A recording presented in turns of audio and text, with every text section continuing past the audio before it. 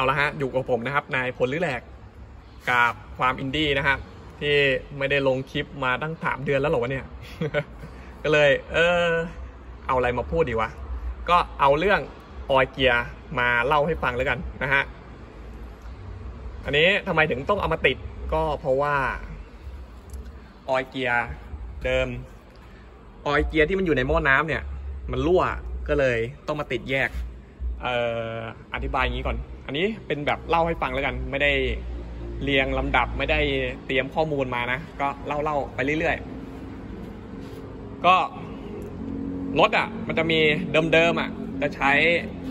หม้อน้ำอะระบายความร้อน ออยเกียร์คือมันจะเป็นแป๊บ ถ้าจำไม่ผิดเป็นแป๊บทองเหลืองมั้ง ปักอยู่ในหม้อน้ำอีกทีเนี่ย อันนี้ช่างอะ ใช้ฝาปิดไงบนล่าง เนี่ยเขาก็อุดไว้ไง ไม่ให้น้ำมันออก เพราะว่าออยเกียร์มันแตกแล้ว อันนี้ก็คือท่อล่างนะฮะ ที่ปักกับเนี่ยไอ้ฝาดำๆฝาพลาสติกเนี่ยฝาไอ้คอมแอร์ช่างเอาฝาคอมแอร์มาปิดกันนี้ก็คือท่อบนปากไก่น็อตนี่ ก็คือมันเป็นแป๊บทองเหลืองนั่นแหละ แล้วก็ไปแช่อยู่ในหม้อน้ำอะแค่นั้นเอง ก็คือใช้น้ำในการหล่อเย็น ก็เหมือนเครื่องยนต์นั่นแหละ ก็คือใช้หม้อน้ำในการหล่อเย็นเครื่องนะส่วนอันนี้ออยเกียร์แยก ก็จะใช้อะก็จะใช้ลมเป่า เอ้ยลมดูด ในการระบายความร้อนของเกียร์นั่นเองนะฮะแล้วมันดียังไงเอ่อต้องพูดของรถเดิมๆก่อนข้อดีของออยเกียร์เดิมๆเนี่ยที่มันปักอยู่ในหม้อน้ำเนี่ย ข้อดีคือมันสามารถควบคุมอุณหภูมิได้ โดยใช้วาล์วน้ำของเครื่องนั่นแหละเออ ประเด็นหลักๆก็คือว่า ไอตอนที่เราขับตอนเครื่องเย็น หรือขับตอนหน้าหนาว หรือขับตอนฝนตกอะ่ะ ก็ยังมีวาล์วน้ำในการคอนโทรลอุณหภูมิอยู่ เออ นะ เครื่องร้อนเกียร์ก็ยังต้องอุ่นอยู่ ไม่ใช่ว่าแบบเนี้ย อันเนี้ยพอขับผ่านฝนไปปุ๊บเนี่ย น้ำฝนเข้าไปเต็มๆเนี่ย มันก็น้ำมันเกียร์มันก็เย็นเจี๊ยบเลยแหละปึ้งผมก็วันวันๆใจ ว่าตอนขับหน้าฝนมันจะเป็นยังไงวะนะถ้าใครมีความรู้ก็คอมเมนต์บอกกันได้นะฮะ แต่ที่รู้ๆก็คือว่าถ้าเป็นเกียร์รถรุ่นใหม่ๆอะแปด speed เก้า speed สิบ speed เนี้ย พออุณหภูมิเกียร์ อุณหภูมิน้ำมันเกียร์ออโต้มันไม่ได้อะ เกียร์มันจะกระตุก เห็นเขาว่าอย่างนั้นนะ เออ แล้ว เล่าให้ฟัง เนี่ยหม้อน้ำแม่ง อันนี้ช่างเขาเนี่ยช่างที่ติดออยเกียร์ให้เนี่ยแหละเขาเปลี่ยนหม้อน้ำให้ เมื่อหลายสองสามปีที่แล้วมั้งก็ใช้ยังไม่ถึงสามหมื่นโลเลยติดโควิดด้วยเนี่ยนะก็ใช้ยังไม่ถึงสามหมื่นโลเลยเนี่ยออยเกียร์แม่งไปล้วอันนี้หม้อน้ำงานไทยนะฮะไม่ใช่งานเทียบยุโรปเนี่ยออยเกียร์แม่งก็ไปล้วนี่คือข้อเสียของออยเกียร์ที่ปักในหม้อน้ำนั่นเอง ดังนั้นอีกอย่างหนึ่งบางคนที่เอาหม้อน้ำมีเนียมไปทำฝามีเนียมอะ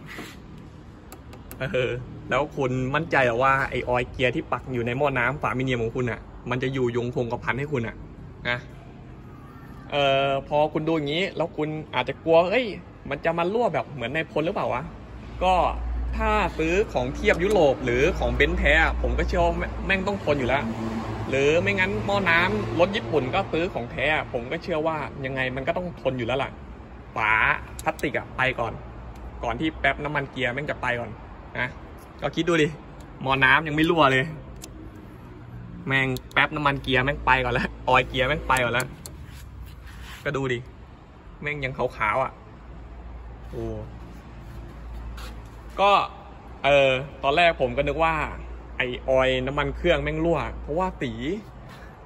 สีน้ำอะ มันเน่ามันจะเป็นขี้โคลนอะ น้ำจะเป็นโคลนคราบน้ำมันอะ ผมก็ผมก็ดูสีแล้วนะเว้ยผมก็นึกว่าน้ำมันเครื่องผสมกับน้ำยาหม้อน้ำไม่ใช่เว้ยดีเนี่ยช่างเนี่ยแหละนี่คือความเก่าเกมของช่าง ช่างก็วินิจฉัยว่า มันไม่เขาเขาบอกว่าสีมันเหมือนกันแต่ ดูจากคราบน้ำมันอะ ตอนเขาจกคราบน้ำมันแล้วมาถูๆอะเขาเขาก็เลยแทงว่ามันน่าจะเป็นที่ออยเกียร์ออโต้มากกว่า มันก็คือน้ำมันเกียร์ออโต้อะเข้าไปผสมหม้อน้ำดีนะไม่ใช่น้ำน้ำหม้อน้ำเข้าไปในเกียร์ออโต้โอ้โหนั่นชิบหายเลยนะ อันนี้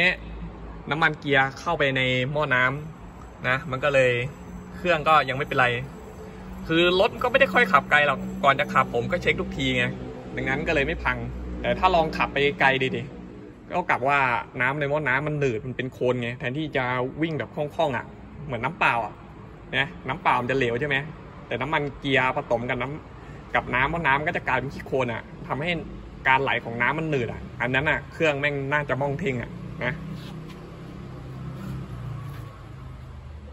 แล้ว ไอออยเกียร์แยก มันก็จะมีเรื่องประเด็นของขนาดใช่ไหมเออที่ผมเข้าใจก็คือว่า การที่อะอย่างเช่น แบบนี้เราไปติดอันใหญ่ เพื่อให้มันระบายความร้อนมากๆใช่ไหมผลลัพธ์ก็คือว่าพอมันใหญ่หลักการเดียวกับอินเตอร์ หลักการเดียวกับหม้อน้ำใหญ่มากไปแรงดันมันตกนะฮะเพราะว่าแรงดันมันมีอยู่เท่าเดิม แทนที่จะแบบเอ้ย แรงดันดันเข้าแป๊บน้ำมันเกียร์ป้อง เคยเห็นของรถญี่ปุ่นอะป้องมันก็ ป้องประมาณไหนวะ ป้องมันใหญ่กว่าสายยางนี่อีกอะประมาณนักตีหุ่นได้มั้ง ป้องมันอะนะที่มันแช่อยู่ในหม้อน้ำอะเออ ก็ ถ้าเทียบปริมาณลูกลวกอะอันนี้ก็ยังถือว่าใหญ่กว่าแป๊บน้ำมันเกียร์ที่อยู่ในหม้อน้ำเสียอีก แต่ถ้าเทียบกับออยเกียร์แยก เทียบกับรถทั่วไป กับเครื่องเท่านี้เกียร์เท่านี้ก็ถือว่าอันนี้คือออยเกียร์ขนาดเล็กนะฮะ แล้วอันเนี้ยออยเกียร์เล็ก แล้วเราก็เอามาติดกับพัดลมเงี้ยมันก็ดูด ยังไงผมก็เชื่อว่ามันก็เย็น เย็นกว่าไปติด บางคนไปติดอันใหญ่แล้วก็ห่างจากพัดลม หรือไม่มีพัดลม อันนี้มันบวกกับว่ามันเป็นรถรุ่นเก่าไง กระจังหน้ามันมีพื้นที่นิดเดียวดูทีมันก็เลยต้องติดแบบนี้แหละ ก็ดีละ บางคนแม่งเอาไปติดใต้กันชนอย่างเงี้ย แล้วแบบโอ้โหต่อให้คุณติดอันใหญ่ แค่ไหนก็ตามแต่ แม่ง พอมึงจอดตอนรถติดไฟแดงเงี้ย มันจะเป็นระบายความร้อนยังไงอะสมมติว่ามันอยู่อย่างเงี้ยอยู่อยู่เปล่าๆเนี่ย แล้วไม่มีพัดลมนะไปติดตรงนู้นไปติดตรงนี้ใต้กันชนหาที่ไปติดไปหลบไปต้อน แล้วแบบเฮ้ยตอน คุณจอดรถติดไฟแดงคุณตัดมาร้อยหกร้อยแปดเหยียบอัดกระทืบกระทืบกระทืบบี้บี้บี้คันเร่งเงี้ยแล้วเจอไฟแดงปุ๊บคุณเบรกจอดพึบ แล้วแบบเกียร์แม่งโคตรร้อนแปดสิบเก้าสิบองศาอย่างงี้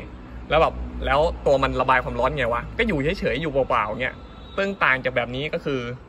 จอดอ้าวรถติดไฟแดงจะตอดไปกี่นาทีก็ตามแต่มันก็ยังมีพัดลมหมุนน่ะ ดูดไปดิเออดูดไปดิอะ อันนี้ก็ฝากไว้พิจารณานะครับไม่ใช่ว่าติดออยเกียร์มึงไปติดแบบว่า ไม่มีลมดูดเลยวันนั้นก็ก็ไม่ใช่นะ มันเออแล้วคุณก็อย่าไปเปรียบเทียบกับไอ้พวกอินเตอร์เทอร์โบนะอินเตอร์เทอร์โบอะรถคุณจอด ลมมันก็ไม่มีนะ จะใช้คำว่ายังไงอะ คุณก็ลองไปดึงท่อเทอร์โบออกดูดิ เออ พอจอดนิ่งๆนี่ ลมในท่ออากาศนี้มันแทบไม่มีนะ คือใบพัดมันหมุนต่ำมากๆอะแล้วก็บวกกับว่าไอ้เทอร์โบอะมันระบายความร้อนด้วยน้ำมันเครื่อง แล้วก็น้ำยาหล่อเย็นของหม้อน้ำนี่แหละ เป็นตัวระบายความร้อนเทอร์โบอินเตอร์มีหน้าที่ลดความร้อนเข้าเครื่องแค่นั้นเอง พอจอดอินเตอร์มันจะร้อนหรือมันจะเย็นยังไงก็แล้วก็แล้วแต่จอดปุ๊บมันก็ไม่ใช่สาระสำคัญอะสำหรับรถจอดนะ แต่ออยเกียร์หม้อน้ำอย่างเงี้ย เครื่องมันหมุน เกียร์มันหมุน มันทำงานอยู่ ดังนั้นมันมีความร้อน แล้วเอามาติดแยกงี้ ไม่มีน้ำยาหล่อเย็นในการลดลดความร้อนของอุณหภูมิเกียร์ ดังนั้นไปติดเปล่าๆก็เชื่อว่าเกียร์ก็น่าจะมีปัญหาในระยะยาวนะฮะ ก็ให้ดูนะครับ ใช้พัดลมดูดความร้อนออก ก็น่าจะเป็นสิ่งที่ดีกว่านะ เออ แล้วติดอันเนี้ยเครื่องมันร้อนน้อยลงนิดนึงนะ เออ คุณก็ลองไปดูคลิปที่ผมทำเรื่องเนี่ย แก้ความร้อนของไอ้รถคันเนี้ยแม่งโคตรร้อนเลยอะอันนี้พอใช้งานพอขับตอนกลางวันเงี้ยแล้วกลับมาเนี่ยเปิดฝากระโปรงแล้วเรามาจับนี้ไม่งก็โคตรร้อนเลยนะ แต่ก็คือยังจับได้อยู่อะแต่ก็คือโคตรร้อนเลยอะ ถ้าเดานะ ก็น่าจะประมาณสักห้าสิบองศาได้อะร้อนแบบว่าร้อน ร้อนจัดจัดอะแต่มือคนยังจับได้อยู่อะเออ ประมาณนั้น นะฮะ เออ นึกอะไรได้ก็พูดไปนะไอออยเกียร์ที่มันปักอยู่ในหม้อน้ำอะ น้ำมันเป็นน้ำอุ่นนะมันไม่ใช่น้ำร้อน น้ำร้อนมันอยู่อย่างนี้ วิธีดูน้ำร้อนกับน้ำอุ่น มันดูตรงไหน ไอท่อที่มาจากเครื่องอะท่อหม้อน้ำเนี่ย ที่มาจากเครื่องเนี่ย อันเนี้ยคือท่อร้อน อ่าอุณหภูมิคุณวัดได้แปดสิบเก้าสิบเก้าสิบห้าองศา เนี่ยมันคือฝั่งเนี้ยร้อน แล้วก็ระบายความร้อน อันนี้รุ่นนี้มันใช้จากขวาไปซ้ายเอ้ยซ้ายไปขวา เออ จากนี่มานี่ แล้วก็ลงไปแล้วก็กลับมาใหม่ มันก็ทำเนาะ ก็คือฝั่งเนี้ยเป็นฝั่งอุ่น ไม่ใช่ฝั่งร้อนนะฮะ ก็ลองไปดูรถญี่ปุ่นอะ มันจะอยู่ท่อล่าง มันจะอยู่ชุดล่างของฝาหม้อน้ำล่างอะนะฮะ ก็ผมก็ไม่มีข้อมูลว่าน้ำอุ่นของหม้อน้ำอุณหภูมิ มันจะหลงเหลืออยู่ที่เท่าไหร่ แต่ก็เดาว่าก็น่าจะมีสักห้าสิบองศาได้ปะ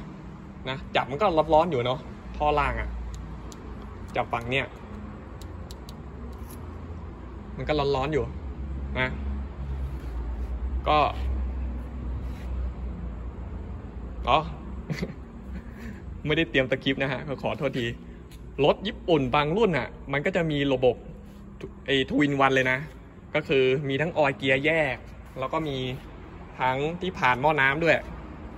แต่ก็คือมันเป็นทางวันเวย์แหละ เออ ผ่าน ถ้าจำไม่ผิดผ่านออยเกียร์แยกก่อนมั้ง แล้วก็ค่อยไปผ่านหม้อน้ำอีกที ก็